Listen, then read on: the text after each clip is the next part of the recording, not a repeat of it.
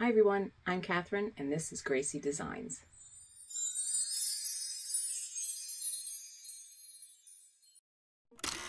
So today I'm going to show you how to make this adorable, um, quick and easy uh, Valentine's Day candy pouch. For this project you need worsted weight yarn, size J crochet hook, darning needle, pair of scissors, and a piece of ribbon about 20 inches long. And of course candy. Before we start the pouch, I'm going to do a quick tutorial on a double crochet and a single crochet. Yarn over the needle, through the stitch, yarn over again, back through the stitch, yarn over through two loops, and then through two loops again is the double crochet. For a single, you go into the stitch, yarn over, pull back through the stitch, yarn over, and through the two loops. I am using a Brava yarn by Knit Picks. Uh, you can use any worsted weight yarn, and one skein is more than enough. So to begin, we're going to make a slip stitch, cross over the yarn, and then bring a loop of yarn through that hole and just pull. Place the loop onto the crochet hook, and now we're going to chain 14 stitches. I really do love um, Yarn by Picks, but you can use any worsted weight yarns. Um, their yarn is great, though, if you want to check it out. Even though the project is 14 stitches, we are going to chain two extra stitches on the end, which will um, make the sides stay even. It's kind of like two stacks of stitches on the side of your next row. So this pattern is going to be worked in double crochets and then single crochets. So our first stitch will go into the second chain from the hook. Here's my double, and now I'm going to do my single. And that's the way we're going to do the entire pouch. One double crochet and one single crochet. We're going to continue this pattern um, for 30 rows. I'm going to speed up some of the sections of the video so I can get to the next step. And as we work through the pouch, when you begin every row after your chain two, you're going to start with a double crochet. And at the end of every row, it will be a single. So if you don't end in a single crochet, you might have um, made a mistake in your pattern. So you can always pull it out and redo the row. This is one of the reasons why we work um, even amount of stitches for the project. My first row is finished. I'm going to chain two and then turn. This is really a pretty pattern just by um, switching the stitch. As you can see here, because it's a double and a single, we have a high and low. We start with the double crochet in the first stitch and we work the pattern to the end, ending in a single crochet.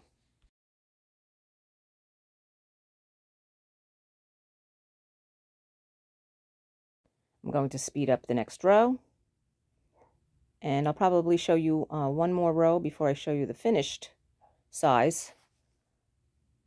So you can see how pretty this double crochet, single crochet stitch looks.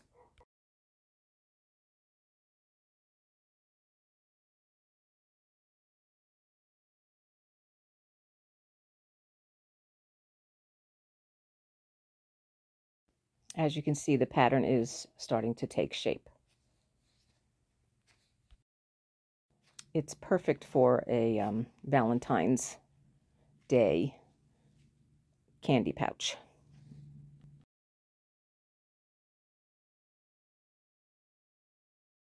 As the pattern comes together, you can see that you have a low and high stitch in the low stitch, we do the double crochet. In the higher stitch, we do the single crochet. Again, we chain two, turn, and start that first stitch with a double crochet, then a single crochet, repeat to the end, and we should end with a single crochet. I'm going to finish the third row now, and uh, I've already completed a 30 row piece, which I'll show you after I finish this row, and we can start the next step. So here is my finished piece, 30 rows. It's real pretty, this stitch. Really like it. You can do a lot of things with this pattern. So I guess you could say that there is a right side and a wrong side for crochet. On this, it doesn't really matter. Uh, but this is the right side, and I'm going to turn it over and fold the piece in half. So I'm going to crochet the sides together. As you see, I didn't cut the thread after I finish crocheting. That leaves me with one less thread to clean up later. When crocheting the sides together, it's doesn't have to be perfect. You don't have to crochet into every single stitch on the side. Uh, you can just do as many stitches as needed. Don't pull it too tight when you're crocheting. We basically just want to make a nice seam on each side. See, I'm just going into the edge just enough. And I'm just using a slip stitch. Probably going to do maybe 10 to 15 stitches You want to keep it kind of loose. You don't want it to feel tight and stiff. Speed it up to finish this side.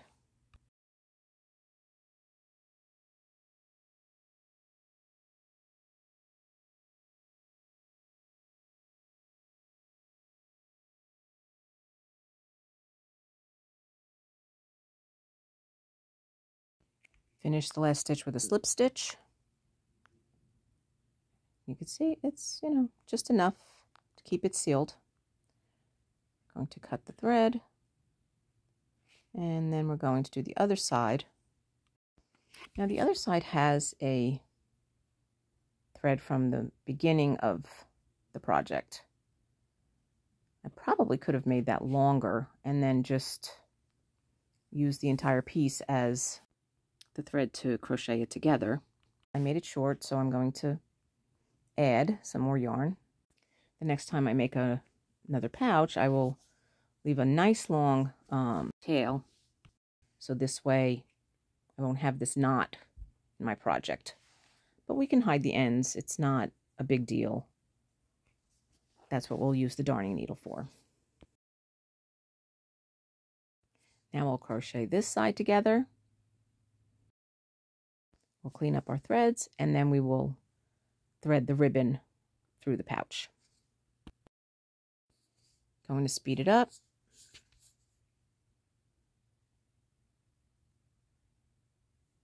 So we can get to the next step.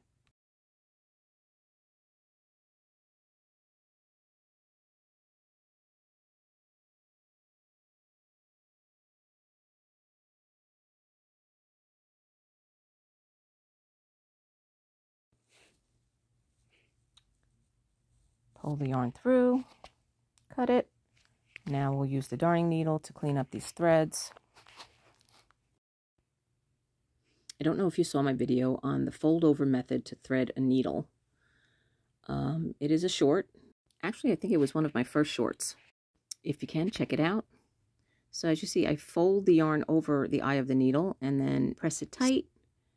And then you can just um, slip the yarn right through the eye. Then we sew in the ends. You just have to sew in a few stitches, just enough to hide the thread so it doesn't um, come out. And we will trim the excess thread.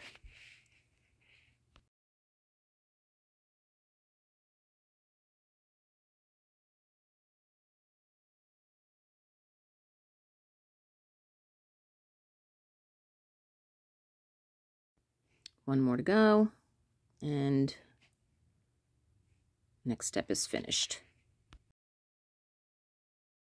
We trim the excess and now we can thread our ribbon. We are finished with that and we can turn our project right side out.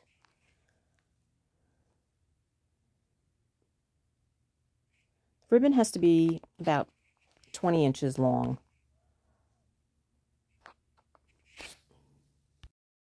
I'm using this silver ribbon, which I got in a bag of all different colored ribbons, scrap ribbons from actually Michael's on sale.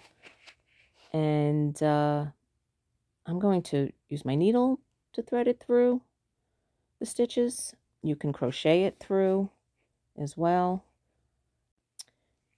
I would start the ribbon in the center of the pouch, about an inch, inch and a half down from the top.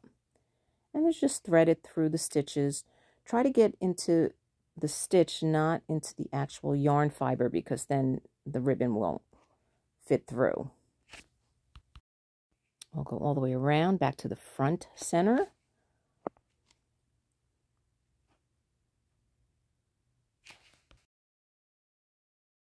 I'm going to speed it up again. And then we will fill it with candy. And we will have our Valentine's Day crocheted candy pouch. I finished threading the ribbon. So you could just pull it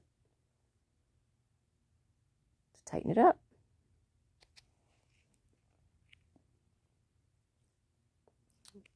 This was a scrap, I just used the whole piece. Like I said, about 20 inches long is a good size for the ribbon.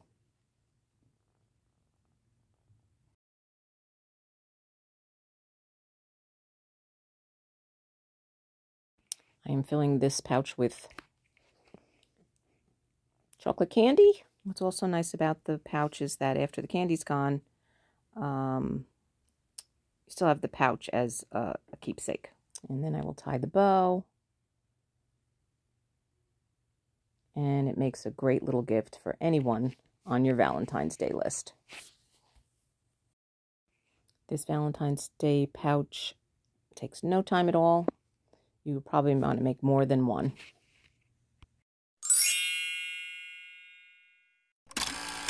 So happy Valentine's Day to everyone. I hope um, you enjoyed this video.